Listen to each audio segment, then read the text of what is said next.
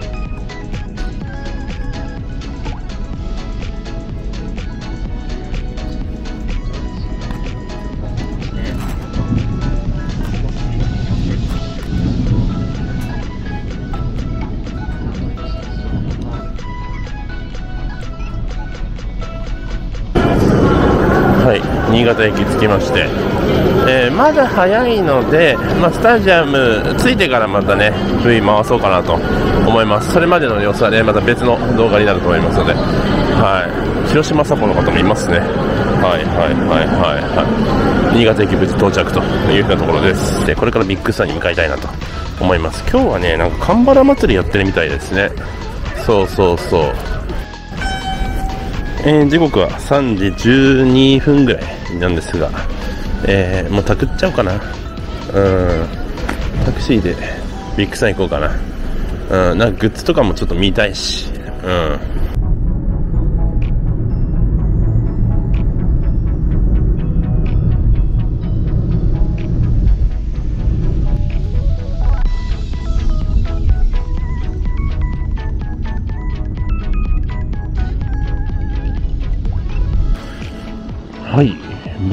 ビッグサンの方到着しまして、えーっと、雨はね、降ってないです。あの今ね、3時25分ぐらいだけど、あの、すでに雨は降ってないですね。うん。いや、よかったよかった。やっぱ僕は晴れ男だった、あ感じですね。まあ、曇りですけど、まあ、雨降ってないっていうのはでかいよね。いや、だからもうそれを信じて僕は今日雨がっぱ類全く持ってきてないです。本当えで、今日はですね、なんと、後援会さん主催の選手サイン会になんとなんと当選したということで、えーそれにね、試合、えースタジアム入る前に参加したいなと思ってまして、えー後援会ブースで、あの、受付を済ませてこようかなと思ってます。その後ちょっとグッズ見たり、スタグルちょっとぐるっとしたり、ちょっとしてみようかなと思います。すごい、人が多い。今日はね、札幌ビールさんの風味総会して抽選会ということで、あれはちょっと並びたいね。今やってますね。で、その前に講演会ブース行ってみましょう。サイン会の集合場所もらった。これで4時ね40分に集合ってことなんで、まだね1時間ぐらいあるんですよ。だからちょっと風味爽快にしてキャンペーンちょっと並んでこようかな。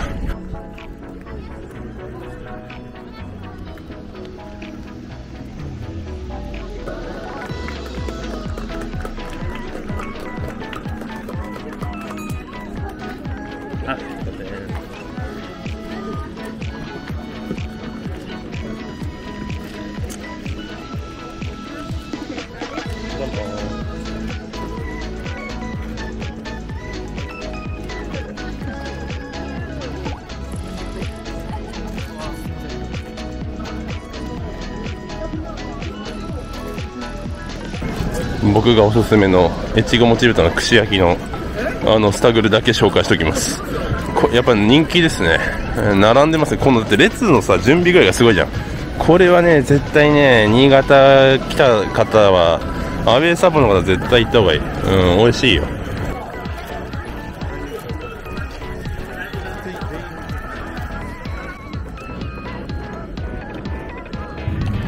ビッグスワンの隣のねスポーツ公園ではこうボールを蹴るイベントもやってますね。うん。いいっすね。ていうかあれだねスポーツ公園芝になったんだね。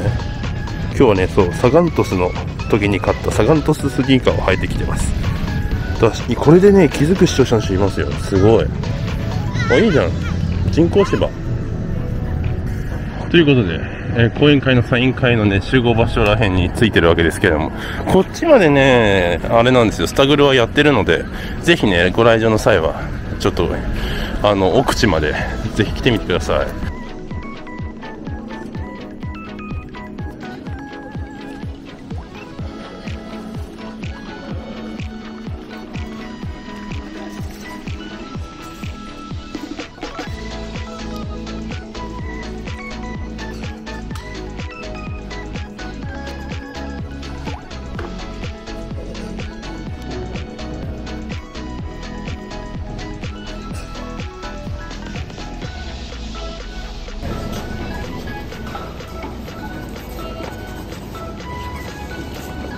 いいかっこいいですね。今ね、5時18分。もうね、ゴールキーパーの練習も始まってますが、まあ徐々にね、人は、あのー皆さんスタジアムに入ってるという風な状況です。まあこういうのをね、たまには映してもいいかなというところで、えーでもね、未だにね、スタグルはね、越後もち豚の串焼きはね、もう行列ですね、本当に。すごいね。大人気。だからやっぱおすすめなんですよ。うん。こんだけ並ぶということは美味しいということの証明。うん。いいですね。うん。まあ雨も降らずに持ちそうですね、天気もね。うん。今日はね、スワンシート ?W2 スワンシートっていうのを2階から見ます、今日は。テーブル付きの座席ですね。すごい、すごい。すげえいいとこだ。えっ、ー、とね、これね、W211 ブロックあたりからの眺めです。あ、でも広島サブも結構来てますね。えー、で、今日はね、審判西村さんなんで、まあ、そんななんか、なんか変なジャッジはしないかなっていうふうに見てます。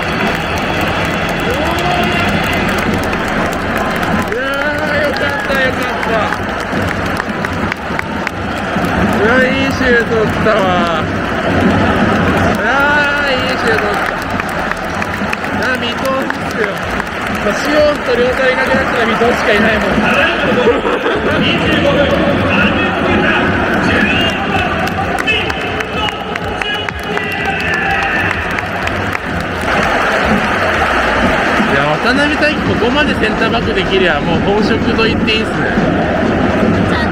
めちゃめちゃ安定してる。いや水戸頑張るな今日。わー！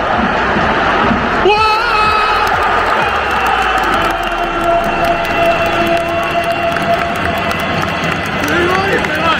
え誰？誰？小見ようやく小見誰？誰？誰？今誰？小見誰？水戸？誰？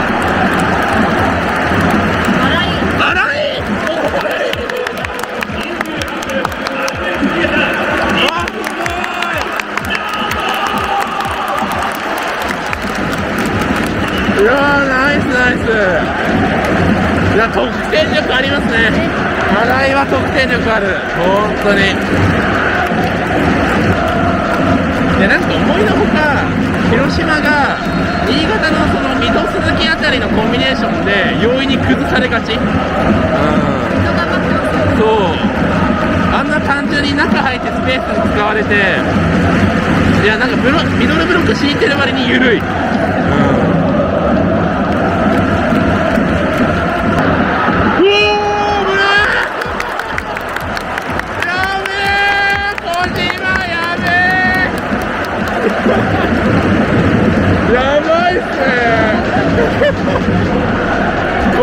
神様じゃんもう。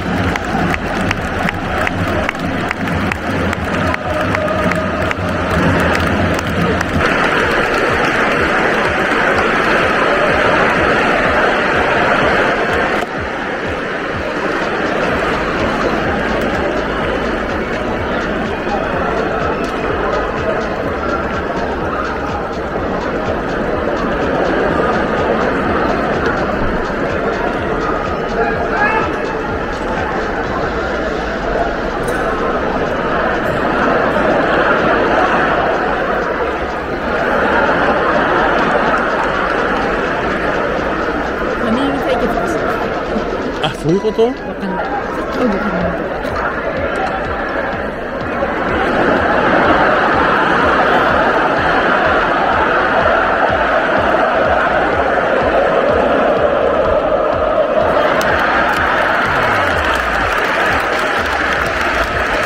いや今日の勝利はでかいですね本当に、えー広島でシーズンダブルということで、えーまあ、ちょうどね試合終了後、えーとま、新井選手がねマン・オブ・ザ・マッチということで、えー試合後のね、えーちょっとあれ撮ってるわけですけどあの前半終わって思ったところとかまあいろいろツイッターでも書いたんですけど、まあ、水戸と藤原がめっちゃいいのと新井が高い位置取ってていいのと星が気利いてるのと小島のフィードがズバズバ刺さるっていうのともうみんな躍動してたから今日はねあのもう勝ってしかるべきという、まあ、試合とも言えるかなというふうに思いますしあのまあ、広島のねボランチがねいまいちだったっていうのがあって、まあ、これがかなりね、まあ、新潟的にはさらに追い風になったかなというふうに思いますし、あのーかなりねいい試合でしたね、うん、久々に新潟スタイルで勝ち取った勝利かなというふうに思いますし、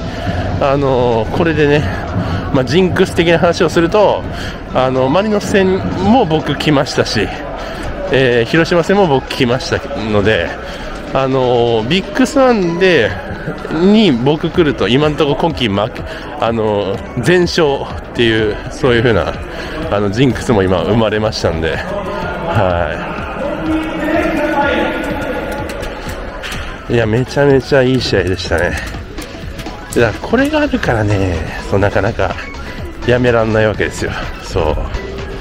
まあそんなあ感じで、まあ、締めたいなと思います。まあ詳しくはね、まあ、レビューだったりとか、あそういったところでもまた上げたいと思いますので、ぜひ何卒というふうなところです。